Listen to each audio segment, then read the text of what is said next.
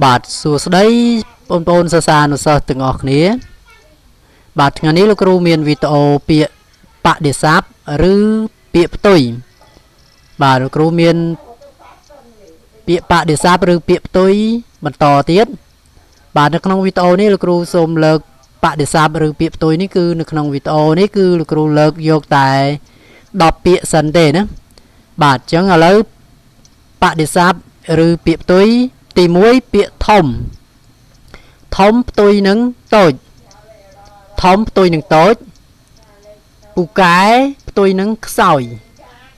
បាទពូកែផ្ទុយនឹងខ្សោយ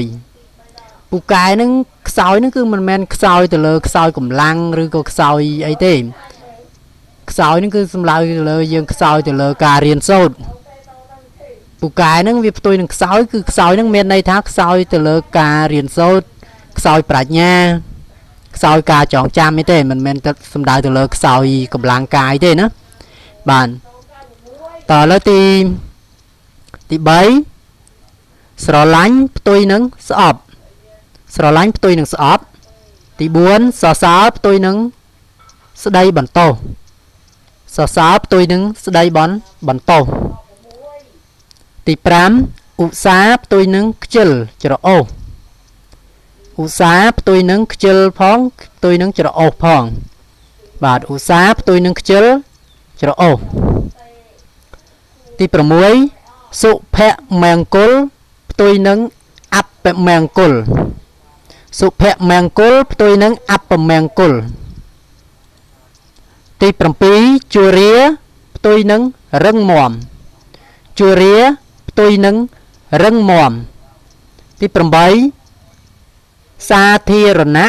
ផ្ទុយនឹងអសាធារណៈសាធារណៈផ្ទុយនឹងអសាធារណៈទី9រូតរះផ្ទុយនឹងដំអក់រូតរះផ្ទុយនឹងដំអក់ទី10ជជែកផ្ទុយនឹងស្ងៀមស្ងាត់ជជែកផ្ទុយនឹងស្ងៀមស្ងាត់បាទអញ្ចឹងនៅក្នុងវីដេអូ បដិសពនេះគឺលោកគ្រូសូមលើកយកតែ10ពាក្យប៉ុណ្ណឹងសិនទេបាទហើយមុននឹងបញ្ចប់ខ្ញុំសូមខន្តីអភ័យទោស